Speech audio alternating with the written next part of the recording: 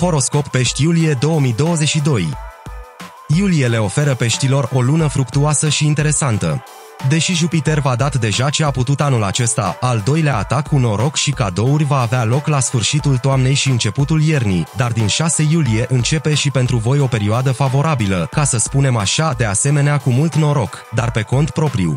Nu vă fie teamă să faceți eforturi, stabiliți-vă obiective serioase, va fi multă energie.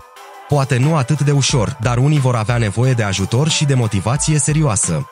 Asigurați-vă că începeți ceva nou în ceea ce privește activitatea și acordați atenție la ceea ce a cauzat întotdeauna dificultăți. Acum puteți face față.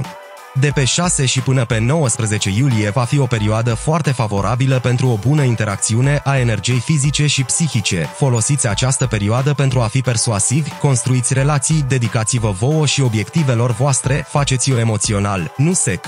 Între 16 și 19 iulie, feriți-vă de tamtam, de comunicarea excesivă și de informația intruzivă, care pot capta prea multe vise și dorințe, experiențe foarte intense. Prima jumătate a lunii nu va fi foarte reușită din punct de vedere al dragostei și al relațiilor, mai ales zilele între 16 și până pe 19 iulie, când puteți să vă faceți griji pentru un motiv fals, să experimentați o mare dezamăgire sau să vă îndrăgostiți de promisiuni false. Dacă în aceste zile veți fi chemați să urmați un fel de vis, atunci aproape sigur va fi un fel de înșelăciune. În a doua jumătate a lunii, situația va fi puternic nivelată și îmbunătățită, puteți îndrăzni cu promisiunile false. Deși Pluto va fi retrograd pe tot parcursul lunii, veți simți o atracție și, de asemenea, veți simți nevoia să vă răzvrătiți împotriva a ceea ce pare să atragă. Luna aceasta vă veți limpezi rapid mintea.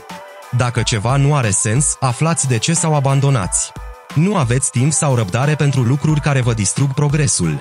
Iulie va fi ca un obstacol peste care trebuie să săriți cu succes. Mult noroc și nu uitați să dați click pe butoane.